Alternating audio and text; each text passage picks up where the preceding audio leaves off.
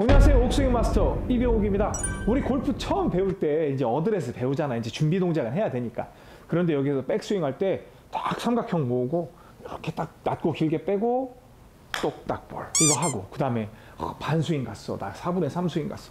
그리고 풀스윙 갔어 하고 해도 이렇게 가. 그리고 하다 보면 스윙은 만들어진 것 같은데 그때부터 아 이거 왜 엎어 때리세요? 뭐뭐 이렇게 딱 수직으로 떨어뜨린 다음에 hip turn 하고 막 이런 얘기를 하죠 그러면서 여러분들은 여러분이 사람인지 로봇인지 뭔지 이제 구분 못하는 상황이 발생하죠. 그리고 나는 누구인가? 왜 이렇게 골프는 어려운 것인가? 그렇게 어렵게 배우니까 뭐가 그렇게 복잡합니까? 골프를 생각해 보세요. 여러분 작대기 하나 들고 있어요. 작대기 하나 들고 요 공 하나 치는 거예요. 뭐가 그렇게 복잡합니까? 여러분이 주도적으로 치세요. 여러분이 어려운 이유가 뭐냐면 선수들도 다가가서 치기 힘든 이 공 위치를 가운데다 놓고 시작하는 게 가장 큰 문제입니다. 예를 들어서 내가 이 딱 모아서 왼손 오른손을 동일하게 쓴다고 하면 가능할지도 모르겠어요. 근데 실제로 우리는 지금까지 살아오면서 오른손잡이 기준 오른손을 굉장히 잘 써왔단 말이에요. 그럼 오른손으로 때리려면 공도 오른쪽에다 두면 되잖아요. 근데 이걸 멀리 이런 느낌인 거예요. 나는 오른손으로 쳐야 되는데 여기 있는 것처럼 느껴지니까 이렇게 엎어서 그쪽으로 가는 느낌이야. 왜?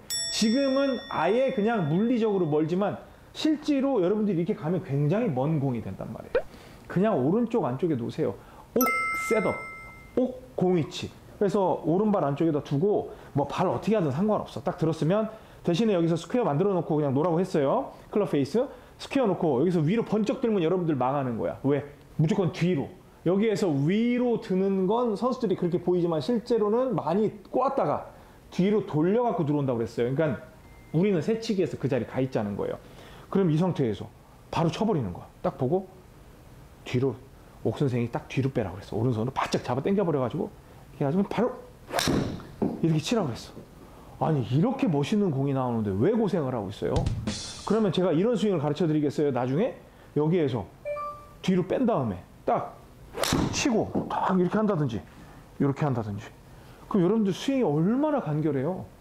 왜 다른 스윙을 합니까? 왜 복잡스럽게 뭐가 그렇게 프로세스가 많아요?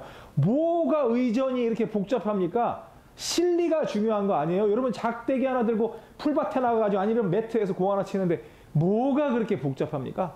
그냥 딱 들고 square 만들어 놓고 오른손 잡아 당기고 빵 때리면은 최소한 사람 흉내는 내잖아요. 놀이 흉내는 내잖아요.